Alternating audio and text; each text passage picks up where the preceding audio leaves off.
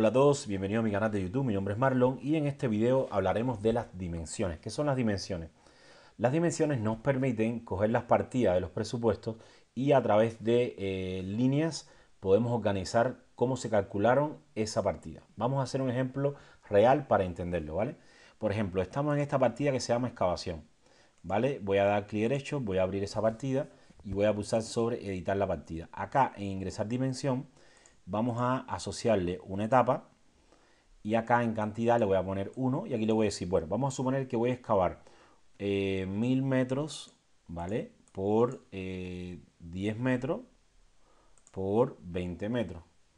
Y después voy a hacer una segunda excavación en esa misma etapa de 100 metros por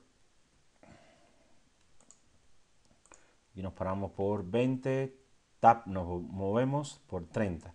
Fíjense cómo me va quedando dentro de la partida, me va quedando lo que voy calculando y automáticamente ese monto pasa para la partida.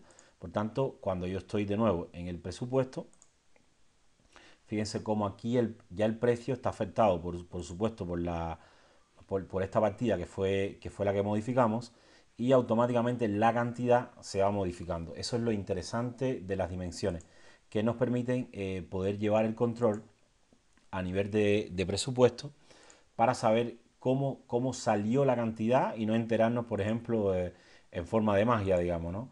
Bueno, eh, eh Odoo 2.0 en la parte inferior permite ver las dimensiones de una forma muy simple, por tanto, si tengo dudas cómo llegaron al valor, puedo ver directamente que tengo 260.000 unidades y eh, que esto fue sacado efectivamente de la multiplicación de estos factores.